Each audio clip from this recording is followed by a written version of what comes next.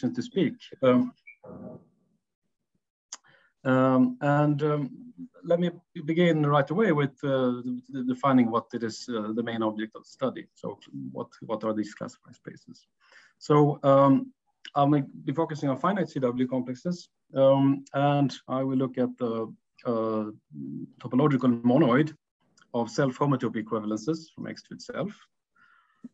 It is a group-like topological monoid, and it has a classifying space, and that classifying space uh, classifies fibrations with uh, fiber X. So here, you know, we have some CW complex B, say, then you look at homotopy classes of maps from that to the classifying space of this monoid. That's in bijection with equivalence classes of fibrations over that space B, where the fiber is homotopy equivalent to X. So this is very classical uh, homotopy theory. Um, and um, this means that um, the, cohomology ring of this classifying space may be identified with the ring of characteristic classes of fibrations with fiber X. and the main problem that I want to address today is uh, the problem of computing this cohomology ring. So this ring of characteristic classes of fibrations with fiber X.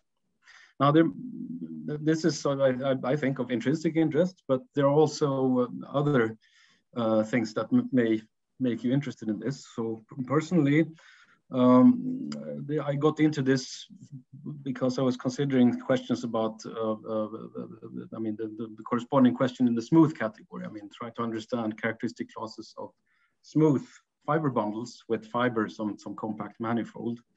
And uh, so, um, and you can think of this as a homotopical approximation to the cohomology of the diffeomorphism group. So this was uh, my original motivation for get, getting into this.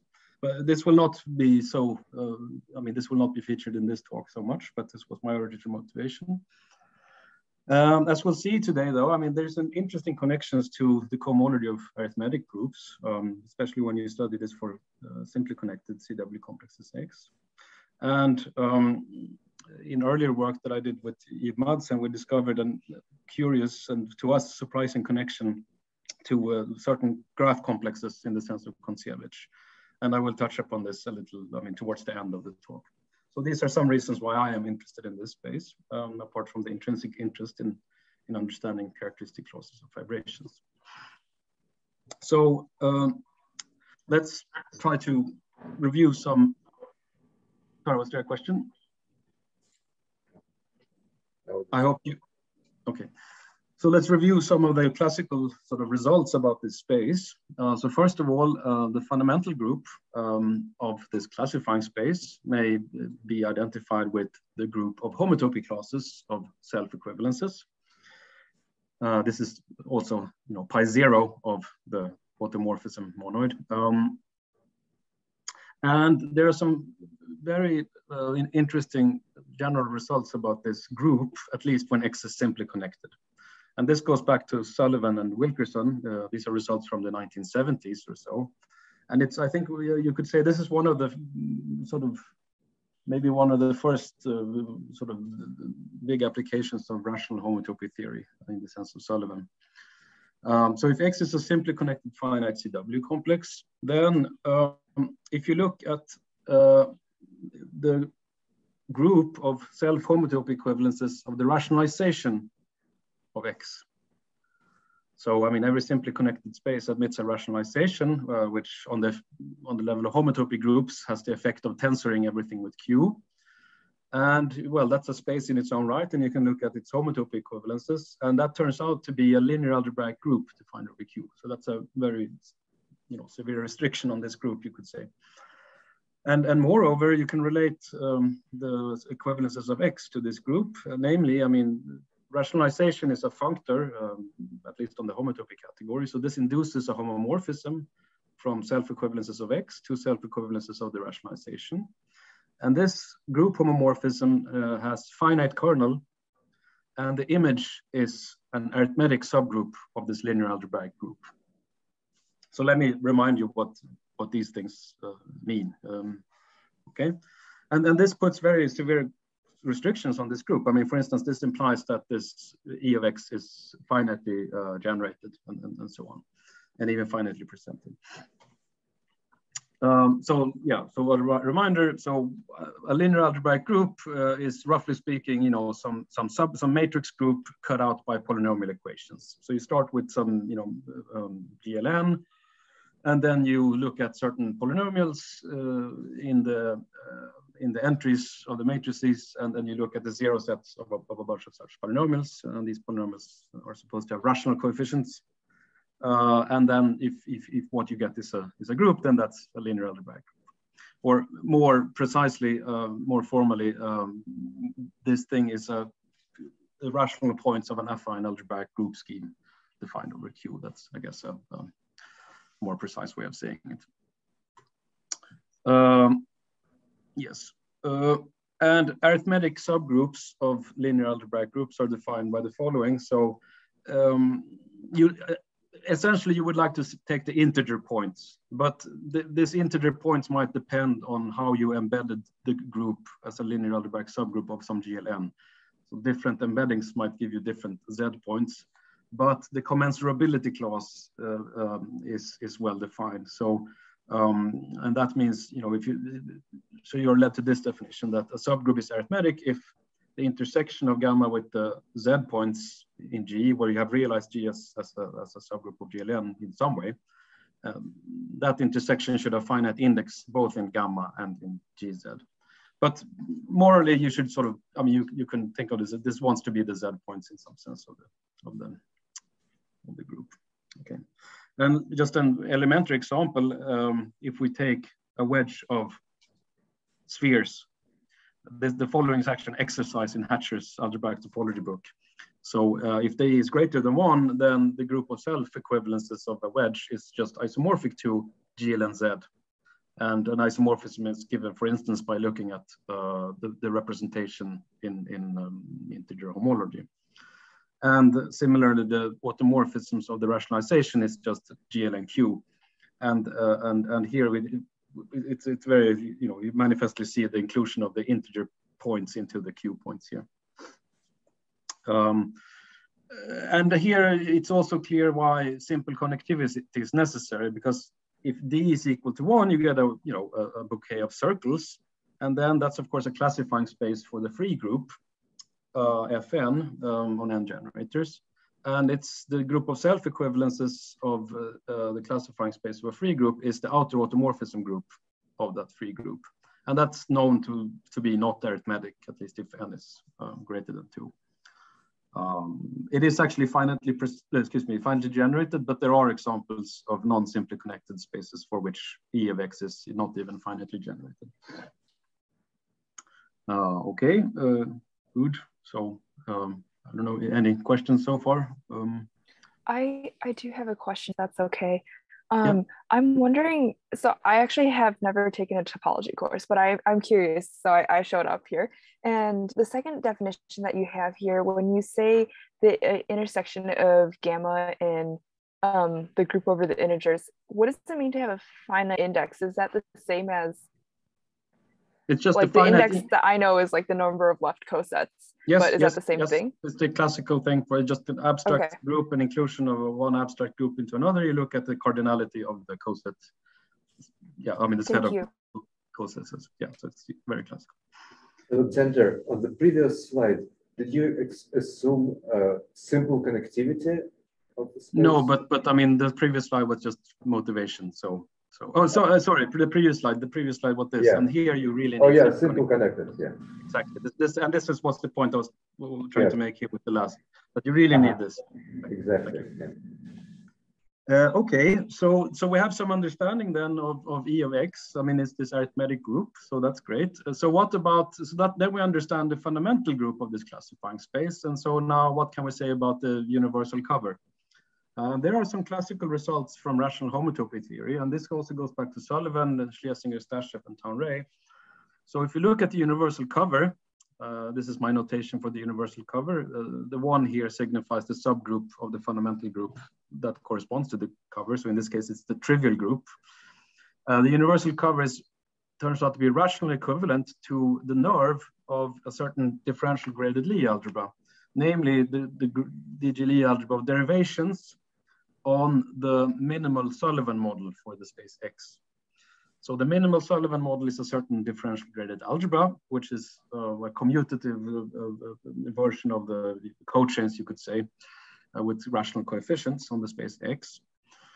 And, um, and then you can form its Lie algebra of derivations. And this little one here signifies that I take the positive truncation of this DG Lie algebra. This is, corresponds exactly to taking the universal cover here.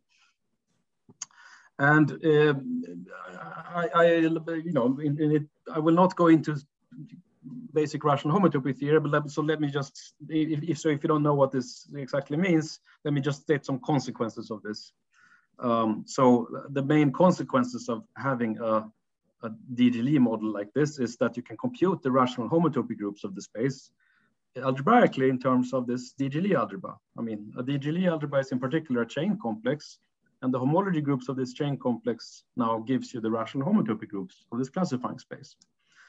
And, and then similarly, I mean, a, a algebra, you can form a Chevalley-Eilenberg type cohomology of, of a DG Lie algebra. And that turns out to compute the, the cohomology of the space of which the DG Lie algebra is a model. So these are the main consequences of having, uh, of, the, of the theorem, okay? Um, so this gives you some algebraic model um, for the universal cover of, of, the, of the, this classifying space. And I should say, uh, there you, you can say things about, uh, I mean, about the, the, fundamental group as well. I mean, uh, using this, this DG Lie algebra, that's a more recent result of, of Block and Lazarev that if you look at the zeroth homology of this derivation Lie algebra, then that turns out to be equal to or isomorphic to the Lie algebra of this algebraic group that we talked about on the last slide. So you so so so this DG Lie algebra knows some things about this algebraic group, but as you know, probably, I mean, you can't recover a general algebraic group from its Lie algebra. So we have really lost some information by going to this derivation DG Lie algebra. Okay. Uh, so so now the problem is to try to construct, um, I mean, so those are classical results, and I mean, going back to the 70s and 80s. And um, the problem, which which uh, was raised, I mean, already, I mean, a long time ago, is, is can we find an algebraic model for the whole space, not just for, you know, not, not just say something about the fundamental group and about the universal cover. So, so let me say it like this. I mean, so uh, as, as we saw, the classical results, they give information about the base and the fiber in the following homotopy fiber sequence. So here we have the classifying space of the group of self-equivalences. I mean, this discrete group. Here we have the classifying space of the, uh, or excuse me, here we have the universal cover. So this is just a um, um, um, universal cover sort of fibration that you have for any space. And we know something about the base here and, and, and about the fiber, but could the question is whether we can assemble that to some global information about the total space. So the classical results do not yield that. They do not yield an algebraic model for this space. And for instance, that we, we don't, they give essentially zero information about the differentials in the spectral sequence um, of this fibration. And that's the kind of thing we, we would like to have. Um, uh, but to address this, uh, I mean, one needs to incorporate the, the, action of this, you know, as, as usual, when you have a universal cover, I mean, the transformation group, in this case, EX, acts on the universal cover, and we would need to incorporate that action in some way into these algebraic models. So that is something that wasn't addressed, uh, I mean, really in the classical literature. And that's, and this is just the thing we, you know, we want to, we want to do today. So um, and so let me give you the first results that we have in this direction. Um, and this could be viewed as an extension of the Sullivan-Wilkerson theorem to higher homotopy groups and to cohomology groups. So the Sullivan-Wilkerson theorem was the statement that the, I mean, about uh, that you get this pi one is, is this, you know, arithmetic subgroup of a linear algebraic group. And here we have some similar algebraicity statements of the higher homotopy groups.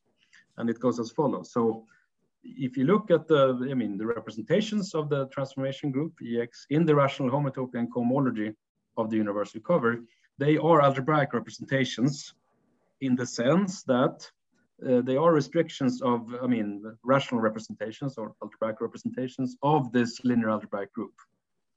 And that's much better than just having representations of this abstract group. I mean, I mean, rational representations, you know, are defined in terms of, uh, I mean, the, the, the, all the maps involved when the final representations are supposed to be in the category of, of, of schemes. So, or, or more, more uh, basically, I mean, the action maps are given by uh, regular functions or, or polynomial functions. So this gives you some, some, some further structure or some further qualitative properties of these, these homotopy groups. Um, okay, so that's great, but uh, this is not quite enough um, because we ultimately want chain level a chain level model and or a chain level understanding of this holonomy action. This, I mean, this theorem only tells us something about the action on, on homotopy and cohomology, but we want something on the model, on the chain level. Uh, and the problem is that there's a, you know, there's an there's an intrinsic hurdle here. It's actually provably impossible to have that the action of EX on the cohomology here lifts to an action on the DG Lie algebra. So that's impossible to do in general. Um, so you have to come up with something else if you if you want to address this. All right. So uh, what we do is we give ourselves some more room. So we study, uh, instead of studying the universal cover, we study other covers as well. So we study certain, you know, covers associated now to, to, to normal subgroups. And we study the associated homotopy fiber sequence. I mean, when U is the trivial group, we, we get back to the thing we had before. Uh, and we can generalize the previous result, I mean, this algebraic result as follows. So um, if you, this subgroup acts unipotently on the rational homology of the space, uh, then we can prove, first of all, that the associated cover is actually a virtual nilpotent space. So that means in particular that, um, so nilpotent uh, is maybe familiar. I mean, it, nilpotent means that the fundamental group is a nilpotent group and it acts nilpotently on the higher homotopy groups. Virtual nilpotent means that, you know, there's a finite index subgroup that achieves those things. Um, uh, but but but it's it's I mean yeah but you you from the point of view of rational homotopy theory virtual nilpotent is as good as nilpotent. Um, and and I mean for, for for the trivial group you you the trivial group this is the universal cover is of course simply connected so that's that's even even better but but we retain you know uh, something when we pass to uh, unipotent actions and then we have an algebraic result for the action of the, you know, this is now the transformation group and it acts on the cover and, and this action is algebraic in a suitable sense as well, okay? And I should remark here that this first statement is actually goes back to, a, to an old result of Dror and Zabrodsky. Uh, they proved nilpotence, uh, I mean, when you act instead, you know, on, on, on um, integral homology. So if you have nilpotent action on integral homology, then you can drop the virtual here. Um, I should also say that this space also admits a tractable DG Lie model, and this is more recent. I mean, this is this is proved by Felix Fuentes and Murillo last year, and we also give an independent proof of that, that in our paper. Or I should maybe I didn't say that this is all joint work with the postdoc at Stockholm University, Tom Zeman. Um, so we, we do have retractable Lie models for these spaces, but it's still without any action of the transformation group. And that's really what, what we want today. So, so we have to do some more work.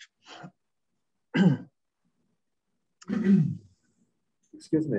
Uh, yeah. So the, the result of this, uh, uh, the result of this theorem is applicable to the case when you use trivial group. Uh, uh, yes, and then I mean this subsumes the theorem I stated earlier. But then what's the point of considering this? Uh, it will come in the next slide. okay.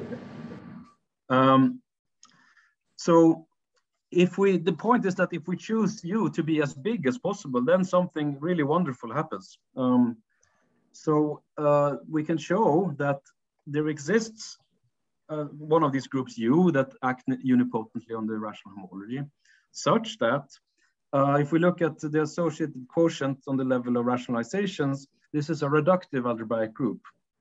Um, and um, yeah, maybe I'll get back to what reductive means for those who don't know that. Uh, but but it's a it's a nice algebraic group. Uh, and the associated transformation group uh, is, is an arithmetic subgroup of this reductive group. Um, and so far, this not, so, so, so different from the old stuff, but here's the really new stuff. So we can prove that there exists an nilpotent DG Lie algebra in the category of algebraic representations of this reductive group. So we have a chain level, you know, some DG Lie algebra with an action of this group, of, of this algebraic group. Uh, and such that this cover, you know, with this usual action of the transformation group is rationally equivalent to the nerve of this DG Lie algebra as, you know, it's equivalently with respect to this transformation group gamma X. So this is an equivariant rational model for this cover. And this is uh, very special. I mean, most U's that, you know, we talked about will not uh, have this property. So there's a, but there's a distinguished U that, that is better than all the, all the rest. Okay. And um, this does yield an algebraic model for this the, full classifying space because now we can just sort of play around with with you know um, equivariant homotopy theory and write uh, the following rational equivalence. So this classifying space is, is rational equivalent to here. This is the nerve of this DG Lie algebra, and then it has an action of gamma. And here I take the homotopy orbit space. Okay. And rational equivalence. I mean, this space here, as I is, is, is not uh, is far from nilpotent in general. So um, rational equivalence means rational homology equivalence. Okay.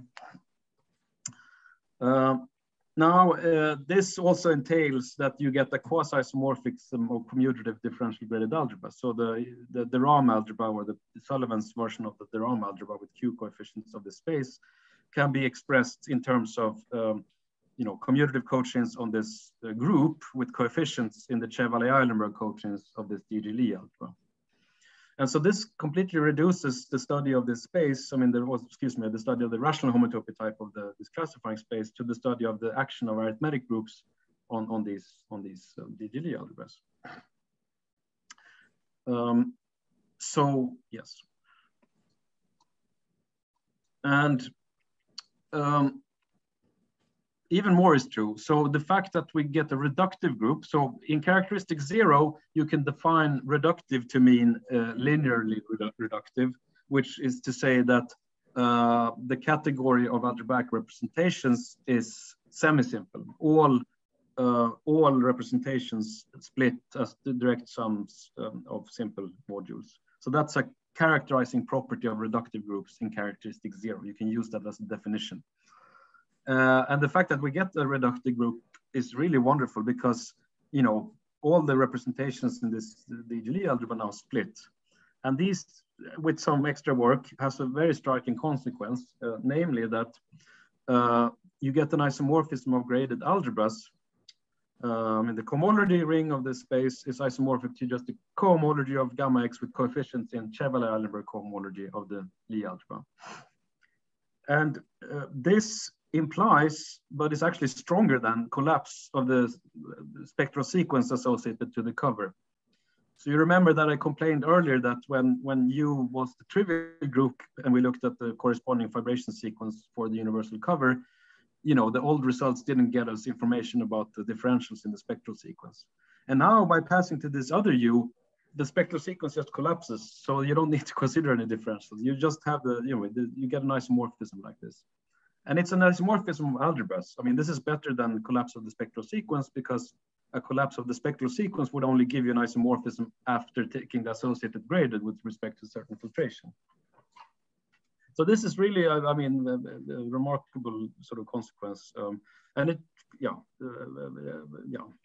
Can I ask real quick, uh, Alexander? Um, so can, can you say why the semi-simplicity um, allows you to replace the uh, yeah, because every chain complex of semi-simple representations is split. It's chain homotopy equivalent to its own homology. So now you apply that observation to the cochains on G, so the Chevalley-Eilenberg cochains. So you can then write down a chain homotopy equivalence between that and the homology. So that immediately gives you the statement additively, yeah. and then you just check that the that oh, the, then you have a spectral sequence which you've just shown collapse. No, you don't need a spectral sequence. That's the point. I mean, you, you just work on the cochain level. Uh, but I, uh, I guess maybe I was I was thinking to get the the ring structure. To get, no, you don't want to pass to the spectral sequence. Okay. You, you, you have to sort of uh, use homotopy transfer theorem for A infinity. I see. Okay. Okay. Okay.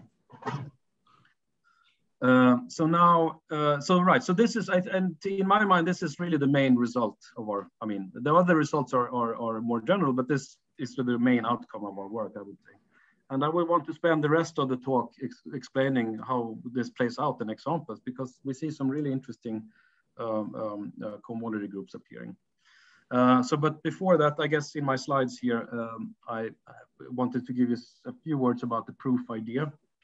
Uh, I'll, I'll, I'll um, in the interest of time, um, i noticed that I'm going slower than than I expected. So, so in the interest of time, I will go through this uh, quickly. So, I apologize, you know, if, if it's too quick. But I, I, the main I want to get to the examples. Um, so, so I will do the proof idea quickly. So the idea is that you use the Levi decomposition of algebraic groups. So for any algebraic group, uh, linear algebraic group over Q, you can decompose it as a semi-direct product of um, the, uh, reductive part and a unipotent part. So uh, G sub U is the unipotent radical. It can be defined as the maximal normal unipotent subgroup. And then this is the quotient, and, and it, this is uh, always going to be a reductive group, uh, and there's a maximal reductive quotient associated to any uh, affine algebraic group. And so we just apply this basic piece of uh, algebraic group theory to uh, this linear algebraic group that uh, we're interested in.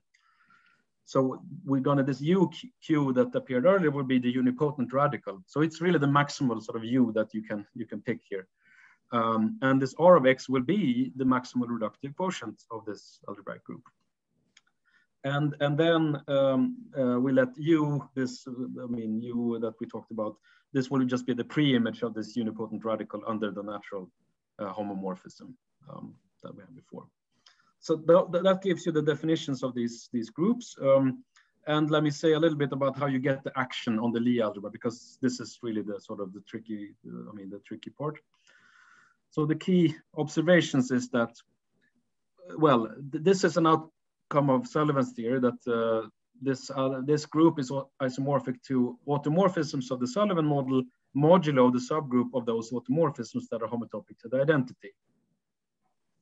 And now the whole problem that uh, I was complaining about earlier comes from this. This group does not act on the minimal Sullivan model. It only acts up to homotopy. So we I mean, we really want to somehow rectify this action, okay? And this is what passing to the reductive quotient achieves. So um, here's the diagram that, that does the trick. So this reductive quotient is by definition, uh, you know, uh, given by the reductive part of this, this group. Now, a key fact is that this group H of automorphisms homotopic to the identity is a unipotent group. And that means that uh, uh, the automorphisms of lambda and this quotient will have the same maximal reductive quotient. So this is actually an isomorphism. And this allows us to rectify the action. Uh, and then we use the Levi decomposition. So this gives us an arrow in this, uh, you know, in, in, the opposite direction here. And the composite arrow here gives us an action of Rx on the Sullivan model. And this is what makes everything tick. So now uh, this also acts on the DG Lie, maximal DG Lie ideal uh, in the derivation Lie algebra, uh, and you take the maximal DG Lie ideal of those derivations that act unipotently on the cohomology. And that's the that's the Lie model. And once you have these ingredients, well, it's it's quite some work to still show that this gives you the correct correct action, but but these are the main main observations that you need. Okay, and that's all I wanted to say about uh, the proof uh, idea. Um, so I don't know if there are any questions about that. I know I was quick here, so I'm sorry for that, but.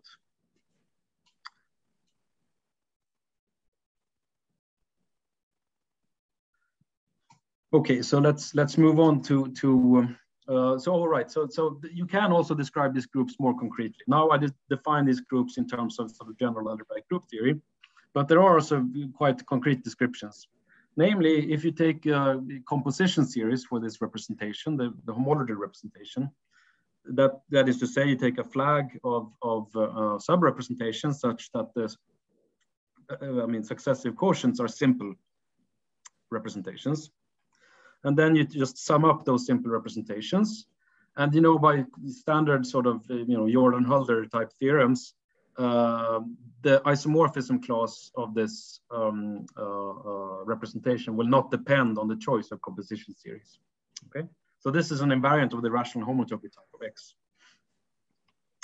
And it turns out that you can characterize these groups as follows. So this reductive group is the uh, group of linear automorphisms of this uh, representations that, uh, and this superscript indicates that they must come from a rational self-equivalence of X, or rather a self-homotopy equivalence of the rationalization of X. And similarly, this gamma is the group of automorphisms of the same thing. Uh, and you look at those automorphisms that are induced by an honest self-homotopy equivalence of X. Okay. And so this holds in general, but it also simplifies um, when uh, certain conditions hold. For instance, it often turns out, and in fact, in all the examples we consider in the paper, that the following conditions hold. So uh, the, the homology is semi-simple to begin with, so it's equal to this associated graded.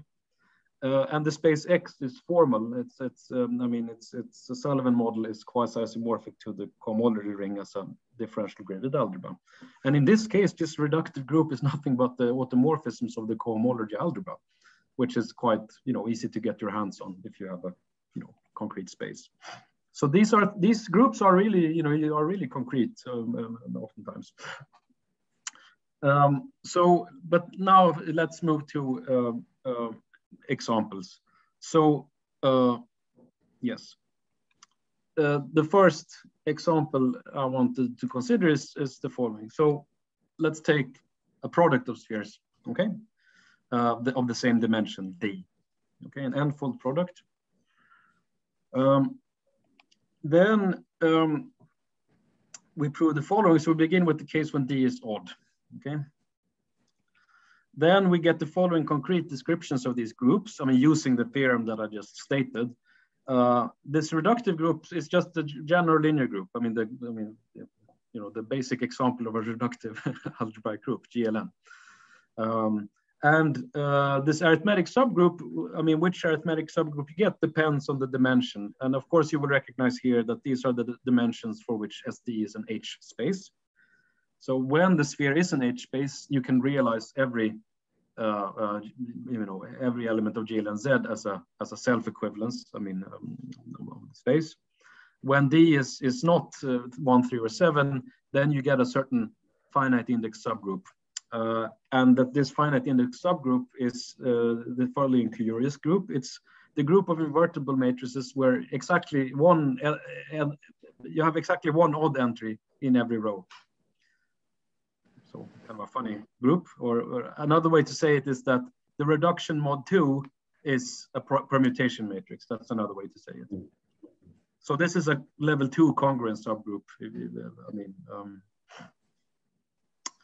um, yes. Uh, and, and then the Lie model turns out to be very simple in this case. Uh, the, this algebraic uh, model is the following. It's the it's the dual of the standard GLN representation, uh, and then you but but you put it in degree in homological degree D, and then you know it's concentrated in one degree, so it can have nothing but the trivial Lie bracket and the trivial differential. So the Lie model is very simple in this case. Uh, now this this leads to uh, the following then. And now if you just plug in these computations in the main theorem uh, or this main corollary, we get the following. Um, and yes, so the cohomology ring of the, this classifying space of, you know, remember this was the n-fold product of the d-dimensional sphere. Uh, this is isomorphic to the cohomology of this GLNZ. and here, depending on what D is, I mean, if D is one, three, or seven, you remove this sigma. That's what these colors are meant to signify. but in all other cases, when D is different from one, three, and seven, you put the sigma there, okay? That's what this notation means.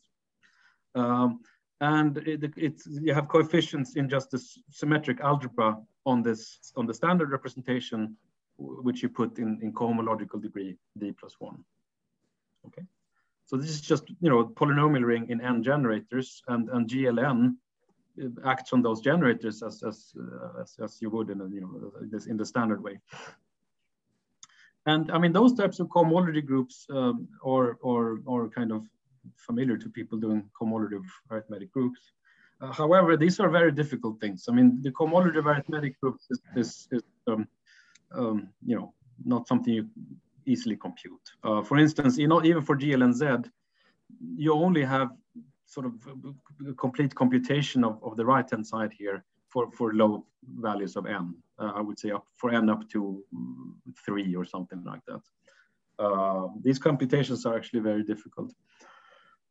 Um, but there are some interesting connections to, to things like, you know, uh, uh automorphic forms and so on and so forth. I mean, that, you know, when, when you think about cohomology arithmetic groups.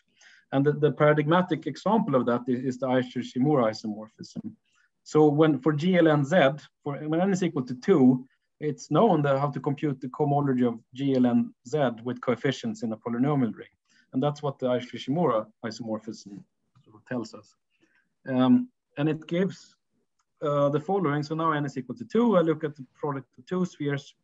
And here uh, I get um, the sum over um, um, um sk here is the space of cuspidal modular forms of weight k for, for the subgroup in question. And here there are two subgroups. I mean, either you have uh, um, SL2Z when D is one, three, or seven, or you have this finite index subgroup of things that have exactly one odd entry in each row when D is different from one, three, or seven. And um, so, so you get this very interesting connection uh, to modular forms all of a sudden. Um, and this is mediated by this comparison to the cohomology of arithmetic groups. Uh, oh, and then right, right. You, here's how to the degree where you should put this. Um, but to me, this suggests that I mean there ought to be sort of a more direct geometric construction of these characteristic classes of fibration. I mean, the left-hand side, as we discussed, give you characteristic classes of fibrations with fiber SD cross SD. And the right-hand side is modular forms. So this suggests that there should be a more direct geometric construction of characteristic classes from modular forms. And this observation, I think, could be, or rather this, this request, or whatever we want to call it, could be made for more general uh, spaces. I mean, oftentimes, I mean, at least parts of the cohomology of arithmetic groups is, is governed by, at least conjecturally, by, by automorphic forms. And this suggests that one should try to look, you know, for, for constructions of characteristic classes out of automorphic forms uh, more directly. So that's, I think, one of the main philosophical outcomes of, of this, this work. Um, good. Uh, so I will soon move to D even, which is very different. So before I do that, uh, if there are any questions,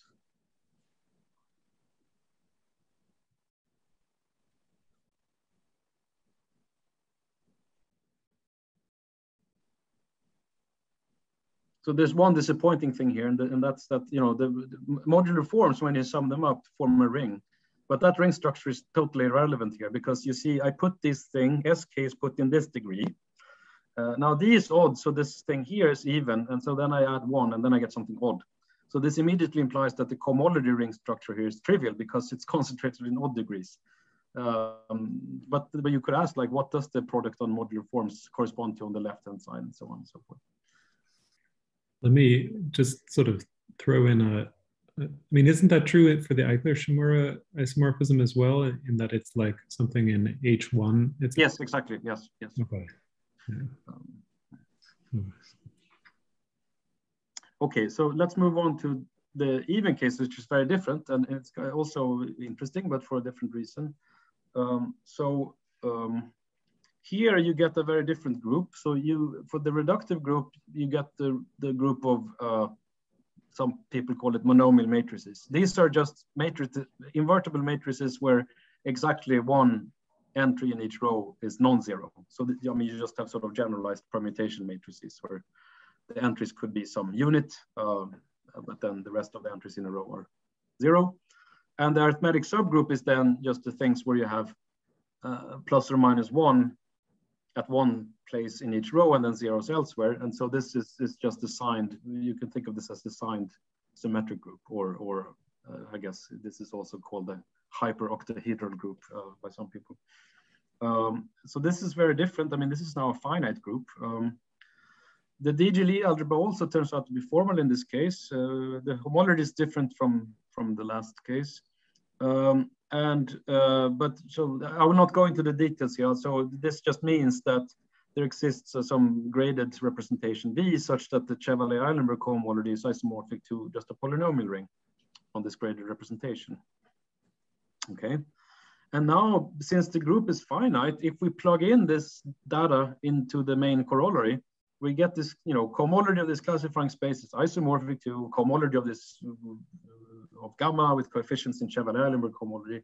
Now the group gamma is finite, so it has no higher cohomology. So all we see is the zeroth cohomology, which is the, the invariance. And so now we end up looking at this sort of ring of invariance. And now we're in the setting of classical invariant theory. So we have a polynomial ring on a certain representation of a finite group, and we want to understand the invariant subring. Um, and that is very well understood.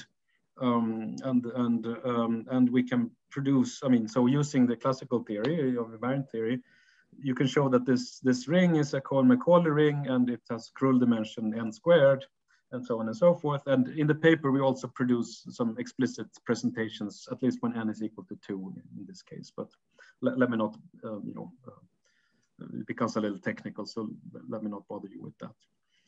Uh, but it's it's kind of interesting to see how how, how different the calculation is.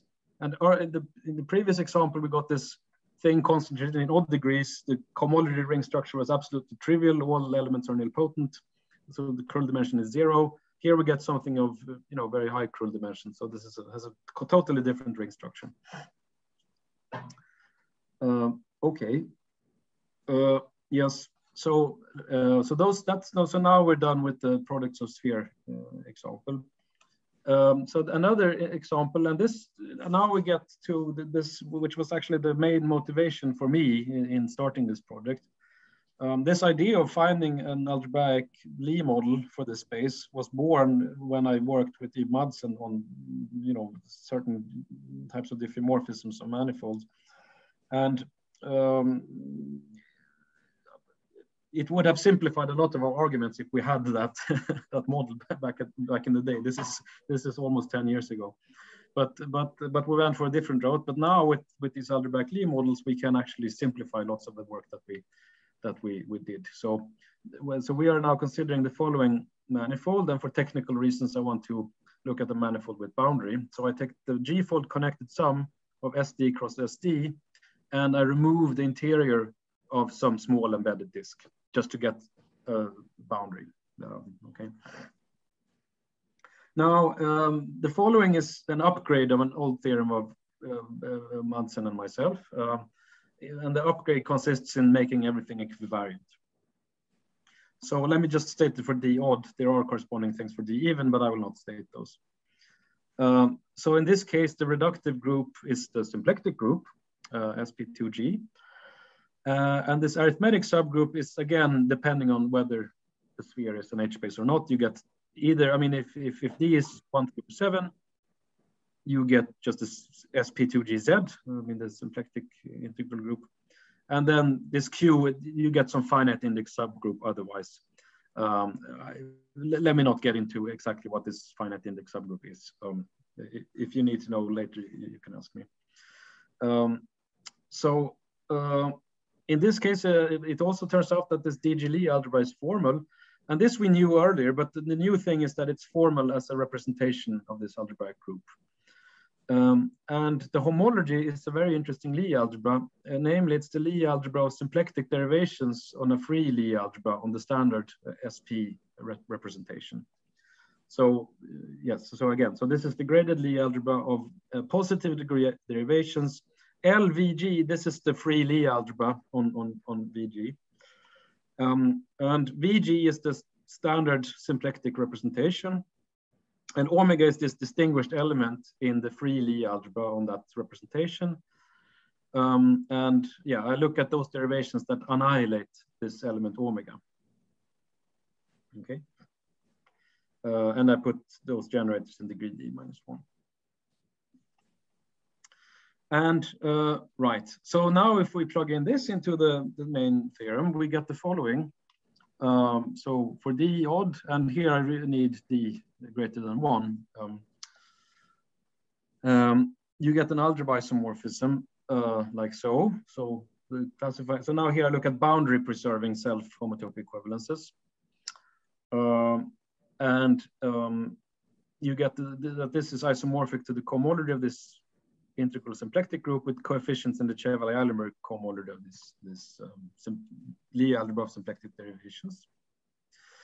Uh, now this refines an early result of myself and Madsen um, because this is unstable. This is before letting G go to infinity. So um, when you let G go to infinity, there's a certain vanishing result due to Borel, which says that you know the cohomology of SP of this group with coefficients in non-trivial irreducible algebraic representations, that's zero if G is large compared to the cohomological degree. And so, and, and the specific how large G is is given by this. It should, so it should be two, larger than two times the cohomological degree plus four. In this range, you get an algebra isomorphism like so. I mean that you just get a copy of the cohomology symplectic group, and then you just get the invariant part of this Chevalley-Eilenberg cohomology. So in this stable range, the computation reduces to, to, to, to just invariant theory again. And this invariant theory is very interesting. Uh, and this is essentially goes back to Kontsevich when he introduced uh, graph uh, complexes. So uh, he, in fact, did, uh, considered these types of Lie algebras for, for entirely different purposes, I think. Uh, and he considered this invariant part of the Chevalley-Eilenberg cohomology. And it turns out to be, I mean, I will just be brief here. I mean, this Chevalley-Eilenberg cohomology can be expressed in terms of uh, the homology of this so-called Lie graph complex that Kontsevich introduced. So to every cyclic operad, you have a, a graph complex, and when you plug in the Lie operad, you, you get a certain graph complex, and that's what you get here. And this uh, also, which was shown by Kontsevich, the homology of the Lie graph complex is related to the homology of outer automorphism groups or free groups. So this is very surprising because automorphisms of free groups have no right to, to appear in these you know, highly connected, high, high dimensional manifolds. So this, this was a big surprise um, when we found this. Um, right. So, uh, but so so this is but this this this I mean is, is, is an old result, but some new results that we can prove using using the the new theorems, or or the followings, and I will end with this. So uh, we can now prove similar results for highly connected odd dimensional manifolds. So um, it has long been pointed out that you know these techniques that you have um, for even dimensional manifolds. I mean, in particular, some very deep calculations of Søren Galatius and Oscar Randal-Williams on the stable cohomology of the diffeomorphism group. Uh, those were used as input for our results. But now with these new results that I presented today, we can get rid of the dependence on those, those results. And in particular, we can now prove new things for odd dimensional manifolds. And for, for example, we can consider the following sort of analog. Um, so we take the connected sum of SD cross SD plus one, uh, G-fold connected sum. And we remove the interior of a, a small disk just to give ourselves a boundary. And then, you know, you do the same uh, thing here. Uh, in this case, uh, the, the algebraic group is, is GLG, and this arithmetic group is just a GLGZ. And the DG algebra is again formal, and the homology is again certain derivation Lie algebra. Uh, um, and in this case, um, you get an expression like this. So I'm, I'm, running out of time, so I will not I will not say more about this. But let me just head cut to the chase here. Um, uh, so okay, so we get an isomorphism of algebras like before. And my PhD student, Robin Stoll, has just finished a paper, which hopefully will appear on the arXiv soon, where he computes the stable cohomology using our results. So namely, when you pass to this some stable range, so when G is large compared to the cohomological dimension, this expression splits up uh, as follows. Um, and interestingly, uh, this um, thing here is now related to a certain twisted graph complex. Uh, I mean, so in Kontsevich's graph complexes, you can uh, add different types of orientation data. And uh, specifically for those who know, I mean, if you twist with the determinant representation in Kontsevich's graph complex, uh, I mean, this is what turns up here. So that's kind of interesting. Um, and this latter thing is actually expressible in terms of twisted homology of automorphisms of free groups. And this is uh, actually goes back to work of, of um, of Lazarev and and, and Sasha. Um, so I mean, uh, at least that's where I learned about this stuff. Um, so it's twisted homology about the FN with coefficients in the determinant representation of the automorphism group, which is this this composite here. Um, so, so as I said, this this last theorem is due to my PhD student Robin Stoll, and, and hopefully it will appear within a few weeks or so. Um, and um, um, yes, that's the end of my talk. So thanks for, for listening. Yes, let's thank uh, Alexander for the, the very interesting talk. Any questions?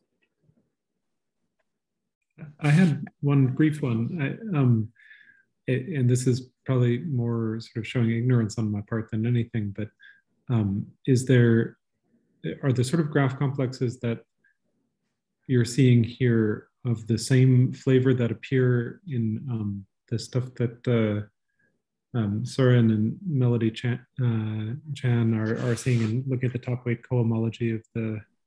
It, yeah, that's an interesting question. It's it's not the same thing. Uh -huh. I think uh, I, I, mean I'm not uh, I'm, I'm not 100% sure. I think what they're looking at is more closely re related to the graph complex associated to the commutative operad. Ah, I see. Here we're looking at the Lie operad, so this is some kind of Koszul dual. I see. Uh, those things are not unrelated, but but there's no direct, you know, expression you can write down for like the homology of one is equal to something related to the homology of the other. But I mean, you can say things, so so it's it's a different graph complex. Okay. And I had a, a um, a, a, very vague comment about the um, the, the weird non-ring isomorphism that was related to the um, uh, Eichler-Shimura isomorphism. Um, there's a, a, similar phenomenon in a paper of Fred Cohen's from um, the early aughts in which he's studying the cohomology of uh, SL2Z with coefficients in the co. He's studying the action of SL2Z on configuration spaces of points in uh, in an elliptic curve. Oh. Uh, and he computes the answer in terms of um, the cohomology of, uh, well, in terms of cusp spaces of cusp forms. Ah, interesting. Um, so. This must be related because, uh, I mean, if you look at, I mean, it turns if you look at d equals one here, which is actually, a, this theorem is applicable yeah. to d equals one, uh, uh, then the self-equivalences of the torus is weakly equivalent to the diffeomorphism group. Mm -hmm. Okay. And and actually, the, there is some precursor to this. I mean, so the, the so I mean, uh, Shigeyuki Morita, for instance, has has looked at the cohomology of B of the diffeomorphism group and and and related it to to like uh, modular form. So it sounds like um, what you're describing is is um, uh, yeah, it, should be closely related. I mean, you can express the cohomology of the diffeomorphism group of the torus similarly as, I mean, by, by this theorem essentially, but but but the but for, in that case, it was known earlier, namely as the cohomology of, of um, SL2Z uh, or GL2, SL2Z if you look at orientation preserving different -huh. Uh -huh. with coefficients in like polynomials in two variables. Um, so, so, so if you then look at like some twisted cohomology groups, I mean, I wouldn't, uh, it's not surprising that you see appearance of, of, of, of, of you know, various, various modular forms there. So. Okay. But mm. I, I, uh, I, should have a closer look at, at this paper. Of, I'll, I'll, I'll, I'll, send it your way. Yeah, thanks. Yeah, yeah. And, and is the reason that you, you can't have d equals one, three, or seven because you've also got translates with by multiplication that should appear in the cohomology? Uh, and, and, I'm not sure I understand your question. So the, there's a theorem for every odd d, and it's just that you get different uh, congruence subgroups. Oh, oh, sorry. Never mind. Yeah, okay. I'll shut up. Sandra, I, I have a short question in, in regards to this uh, theorem. you were suggesting that the right-hand side has trivial multiplication. I understand why it has uh, Krull dimension zero, the string, but it's still a non-trivial multiplication. Like you can multiply one odd uh, uh, element with another odd element. Uh, you know, it's just the square of every element zero. But if you multiply two different odd elements, then you would you could get a non-zero element. No, because the cohomology is concentrated in odd degrees.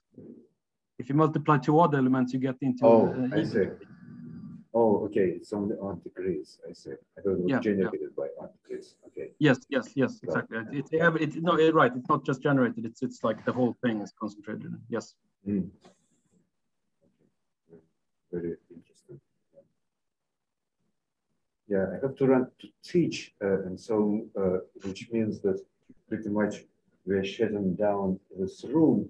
And if I uh, say turn over, uh, say to Craig, if he doesn't mind uh, uh, hosting, then uh, I, I, would I would be able to go. Great. Is it okay? Yes, that's fine. yeah. Okay. So let's let's at least from this room thank Alexander for okay, the wonderful talk.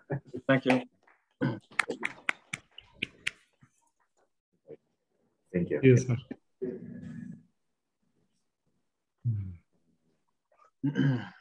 I will have the opportunity to interrogate you at, at length. And yeah. Yes.